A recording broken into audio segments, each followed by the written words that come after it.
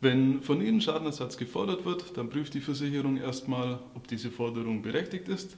Ist sie berechtigt, wird vielleicht noch die Höhe nachverhandelt und die Forderung dann ausgeglichen bzw. der Schadenersatz bezahlt.